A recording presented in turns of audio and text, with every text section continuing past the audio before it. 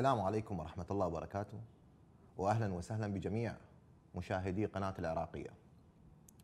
رمضان كريم عاده الله علينا وعليكم بالخير واليمن والبركات. تحياتي مشاهدينا الكرام. سؤال مهم جدا يجيني سواء لعياتي سواء الصفحة الشخصية أو سواء حتى الصفحة الطبية مالتي.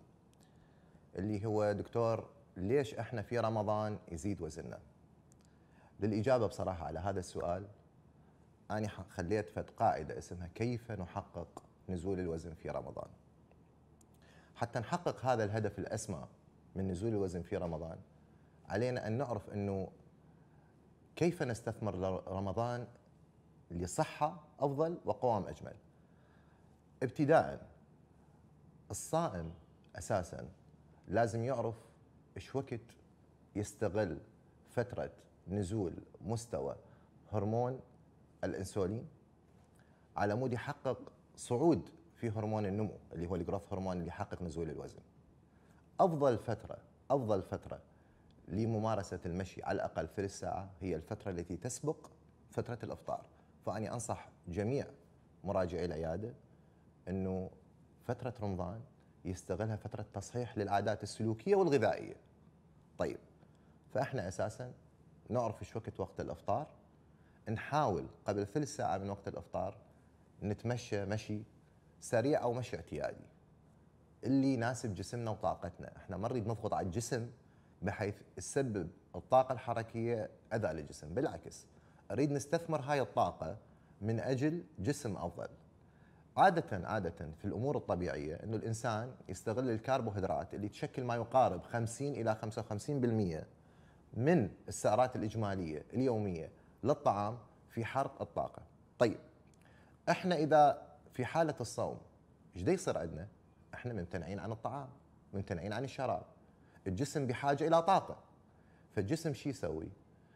ياخذ المخزون المتواجد بالجسم ويحوله إلى طاقة. وهاي إحدى الحالات الذكية اللي يستخدمها الجسم في توفير طاقة ذهنية وبدنية تفيد الجسم.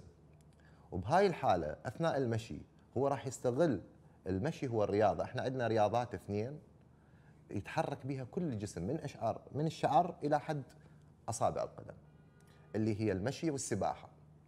ظروف السباحة ظروف صعبة وغير متاحة مو لكل الناس موجودة. لكن المشي متاح. اللي أريد اقوله بالنسبة للجميع اللي يشاهدون هذا هاي الحلقة أو يشاهدون قناه العراقية تحديدا. ما هي الرياضة؟ وهل الرياضة هي مهمة ضرورية؟ إخوان اللي نأكد عليه إنه أسلوب الحياة يجب أن يدخل الرياضة كنمط معيشي في أسلوب الحياة. على الأقل إحنا نحتاج من ثلث إلى نص ساعة. إن لم تكن يوميا في على الأقل القوانين الطبية اللي درسناها تقول 30 دقيقة خمسة أيام في الأسبوع. اذا لازم أن نستثمر الرياضة. مو لإنه نزول الوزن فقط ابدا. ولكن نستثمرها إنه عندنا شيء اسمه improve the quality of life لتحسين مستوى الحياة. الإنسان اللي عنده ويمارس رياضة راح يلقي موده أو المزاج العام مالته متغير ويلقي يوميا هو في حالة انطلاق متجددة.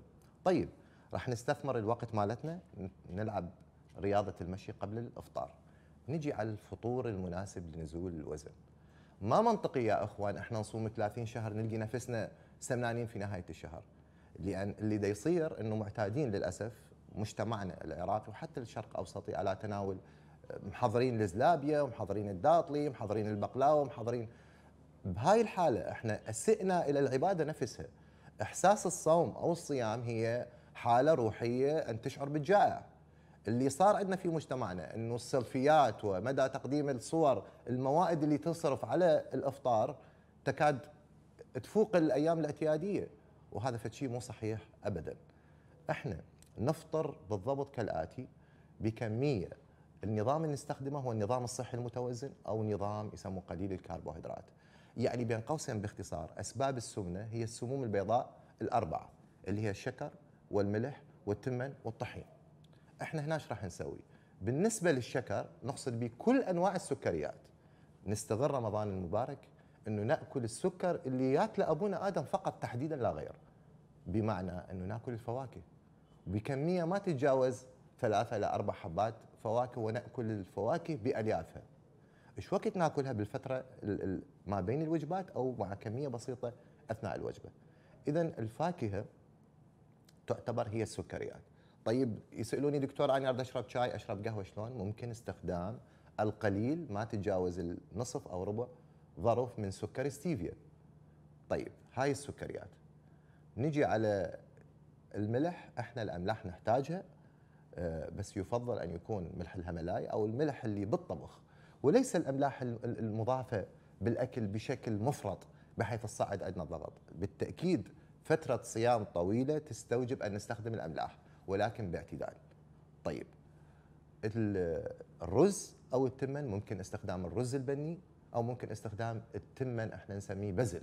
أهليتنا يسموه بزل أو السدي والكمية مالته محددة ما تتجاوز أربعة إلى خمس ملاعق تمن. يبقى الكربوهيدرات اللي هو الطحين. يا إخوان مثل ما نأكد سابقا إنه ما تتجاوز النص آه، صمونة من النوع الطحين الأسمر أو الحبوب الكاملة. وتستخدمها فقط في فترة الإفطار. السحور راح نشيل الكربوهيدرات. بين قوسين نعيش الحياة اللي كان يعيشها أبونا آدم. يعني الله سبحانه وتعالى يقول بسم الله الرحمن الرحيم وكلوا من رزقها واسعوا في مناكبها. اذا الطعام هو طاقة إحنا ناكل حتى نعيش. اللي صاير عندنا للأسف إنه إحنا بدنا نعيش حتى ناكل. وبمرور الوقت أصبحت الطعام أصبح طقوس. حتى أصبح السؤال التقليدي إنه الزوجة تسأل زوجها إيش راح نتغدى باكر؟ إيش راح نطبخ اليوم؟ إيش راح وكأنما حاجة.